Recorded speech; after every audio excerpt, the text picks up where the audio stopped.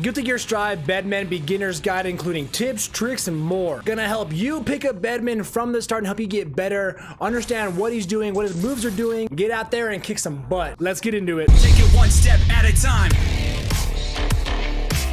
So though this is a beginner's guide as we start off here, I'm going to assume you're not a toddler and you've at least messed around with the moves, his specials, and you at least have a small perspective on what he's really doing. I don't need to explain to you what like slash is, right? Okay, so let's start off with the biggest tips and tricks here, including his specials and his error 6E state. To put it simply for you, you got three special moves. You got down forward square, down forward triangle, down forward circle, or punch slash heavy slash. Now, after those three special moves, you perform one, about three seconds later or so, another automatic follow-up attack is going to come out. And that automatic follow-up attack is different and has different properties depending on what the last special move you used was. So you see here, we're to use down forward punch, and we have here a projectile. You see we're glowing blue, three seconds, bop. We have another projectile that came out automatically. I didn't push a thing. Quick side note, you can do that in the air, and your 6E comes out in the air as well.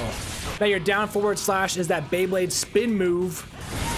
Error 6E, there's automatic follow-up attack. As you saw, it was different than the projectile one that came out earlier. So the first big tip I have for you is first, you need to remember, if you're playing Bebby, you're gonna actually go main him, you need to remember, even during your combos, what the last special move you used was to understand, okay, I used, you know, down forward slash that was my latest move, so now I know what's kind of loaded in my Error 6E and what's coming out here soon. And then decide how can I use that in my next pressure, in my next combo. Now with that being said, you have two extra special moves here. We got down back square, down back X. Now what these do is they actually delay your automatic follow-up attack from Error 6E or put it out even faster. So that way your opponent has to keep guessing, oh, they're gonna delay it, I don't know when it's coming out, or they threw it out sooner than I thought it was gonna come out. So this is a way to kind of keep your opponent on their toes and keep them guessing of when the automatic 6E move is gonna be coming out. So for reference here, I'll show you, we put a projectile, we're in 6E, I don't want it to come out yet, I'm gonna delay it, I'm gonna delay it again. Now I'll put it out. So you can really decide the pace of the match in a way by deciding when am I gonna throw these extra special moves out there. Now a quick tip on Error 6E state is you actually lose the state if you do a wall break. So meaning if we're in a combo, we wall break and we're in Error 6E state, when that wall break happens, we go into the new map, we don't have error anymore. We're, we, we are just, we're back to normal. So to show you here, they're on the wall. We're at Error 6E. We're going to go here. You're going to see here, we're no longer in that state. We don't have our extra move now. Another tip for Error 6E is you also lose it if you get hit. So you can't bank on if you throw it out there, you're in Error 6E, then your opponent starts to combo you. You can't bank on it kind of getting you out of that combo. It just goes away. Again, you can do the Error 6E follow-up attacks in the air. So for a down forward heavy slash, you can't do that move in the air, but you can do the follow-up attack in the air. Speaking of the down forward heavy slash move, you can throw it out there. You can also delay it.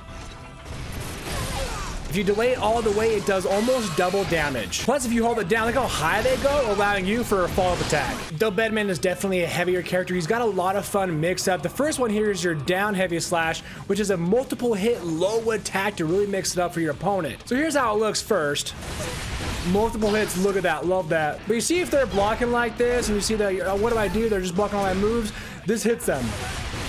It's a low attack. So if you see your opponent blocking low a lot, you do have a great overhead. It's kind of slow at the start, but your forward heavy slash here, he takes his big old hand and smacks them down, and that is an overhead. So see here, they're blocking low. We can't get a hit in. Well, bop. Now we can. And it's a setup too, so you can do a lot of moves after that, like so.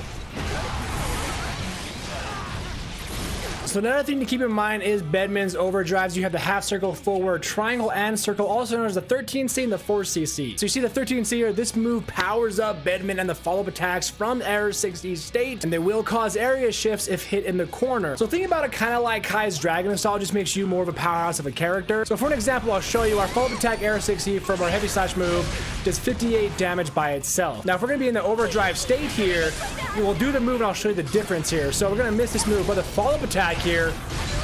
128 damage. Just damage alone, along with a higher pop-up, already worth it. So we'll show you the Beyblade follow attack while we're in this kind of overdrive state. And it causes the wall shift and the wall break there. Oh, beautiful. Mwah.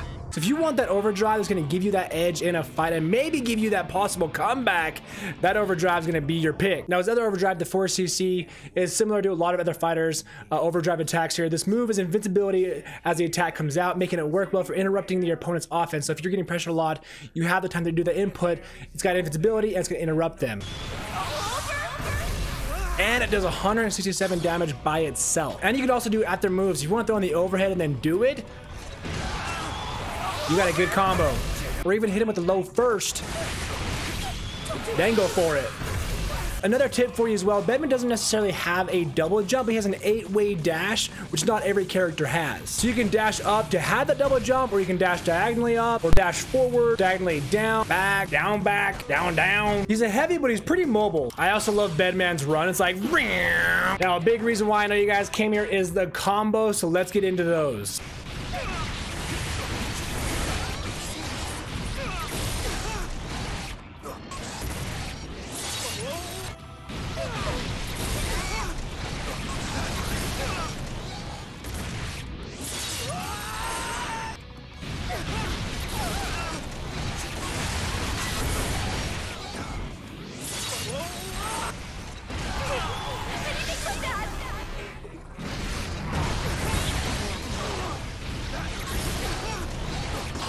Let me know what you think of Bedman down below in the comments. Do you like him? Do you hate him? Click into this video next, and as always, take it one step at a time.